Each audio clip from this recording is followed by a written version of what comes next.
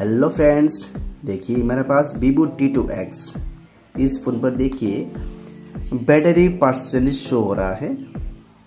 Default पर ये show नहीं होता है। सेटिंग्स पर इसको ऑन करना पड़ता है। तो कैसे इसको ऑन करना होगा, इस वीडियो में जानेंगे।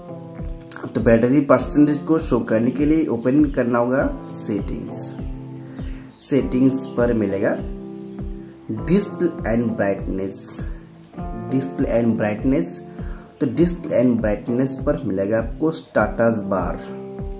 स्टाटस बार पर मिल जाएगा आपको battery percentage. Battery percentage default पर ये ऑफ़ होता है तो सिर्फ़ आपको ऑन करना होगा।